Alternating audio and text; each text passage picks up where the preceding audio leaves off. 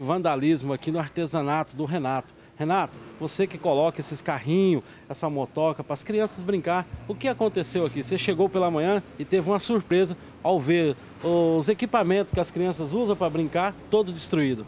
Sim, eu cheguei hoje cedo aqui, é, igual tá visível aqui, o, o carrinho tá tudo destruído, a, a motoca que tem ali para a criança brincar também, tirar foto, que eu, eu fiz, foi feito daqui nessa ideia, para a criançada se divertir, tanto é que eu fiz na calçada também, Cheguei hoje aqui, estava destruído, acabado.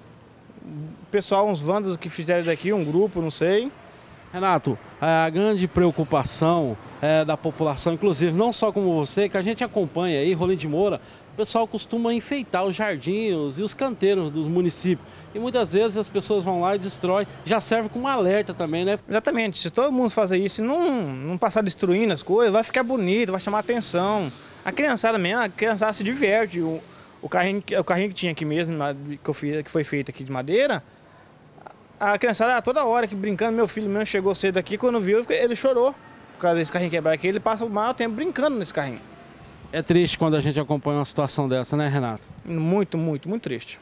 É, você falou que já entrou em contato, conseguiu localizar esses, essas pessoas, esse grupo que fez isso e já está acertando tudo. Nós tá, já está resolvendo já na, na melhor forma possível sem complicação, igual que eu, eu mesmo falei para eles, eu quero resolver da melhor forma possível. Eu só, eu só quero que reponha o prejuízo que foi feito aqui. Igual está visível aqui, tá vendo que nem conserto tem mais. Se tivesse conserto, eu mesmo arrumava. A questão é que está precisando de outra aqui agora no local para a criançada brincar. Teve uns dois mesmo que chegou aqui e me chamou, tio, e aí vai arrumar o tratorzinho que estragaram? Eu falei, não, vou ver se consegue alguém para fazer um. Agora, como eu conversei com o pessoal que já fizeram isso, o grupo que fez isso, eles falaram que vão pagar o, o para poder colocar outro no, no, local aqui, que eu já fiz o orçamento, foi feito o orçamento, dizer que vão pagar para poder repor outro no local aqui. Como o Renato passou aqui a informação, é muito triste. Esse local aqui, as crianças costumam brincar. O Renato fez aqui vários brinquedos, tem amarelinha no chão. Chegou hoje pela manhã, topou essa situação. Serve de alerta para os pais e também para toda a população rolimorense. Os canteiros de Rolim de Moura, a população tem o costume de enfeitar. Não quebre, não estrague.